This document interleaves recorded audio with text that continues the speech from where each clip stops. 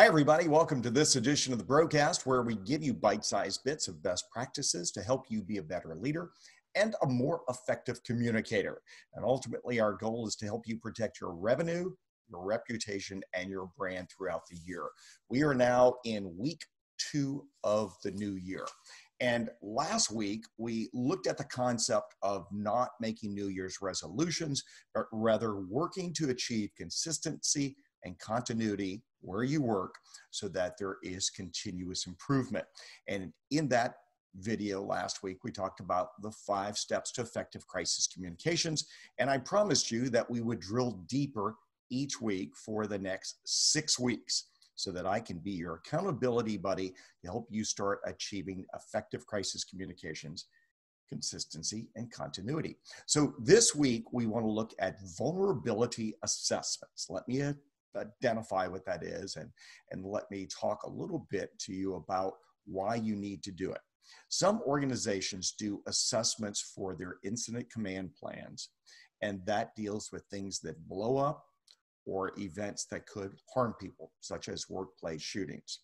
And then other organizations have a business continuity team or a risk management team that basically assesses things that could damage revenue, but that require continuity of business operations so the organization doesn't lose any money. Both of those are effective, but you need to add a layer to it when it comes to crisis communications because if a situation arises to a crisis, it isn't necessarily a disaster or emergency. It may not even trigger the emergency operations plan. It may not trigger the business continuity plan. Sexual harassment is a perfect example of a smoldering crisis. Misbehavior by an executive doesn't trigger either of those other two plans. Here are tips for doing your own vulnerability assessment. First, you can get a clipboard and a spreadsheet or a laptop and an Excel spreadsheet and visit with people throughout the organization and ask them what keeps them up at night, what vulnerabilities do they see, what situations do they see that could become a crisis. And again, we define crisis as an event that could affect your revenue, your reputation, and your brand.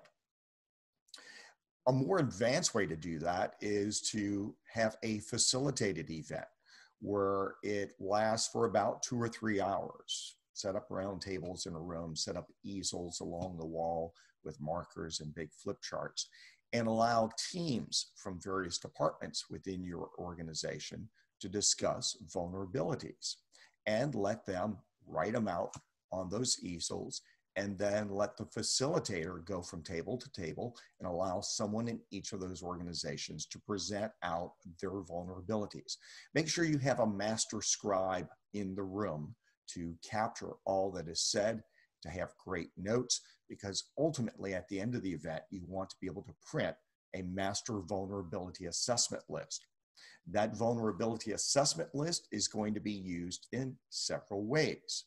First, it will be the pathway to help you understand what your crisis communications plan needs to address. Secondly, in step three of effective crisis communications, I always talk about pre written news releases. The items on the vulnerability assessment are the same items that will become pre written news releases in your library of pre written statements. It'll also be the things that in step four you use for media training. And in step five, you'll use your vulnerability assessment to help pick scenarios that would make for good crisis communications drills.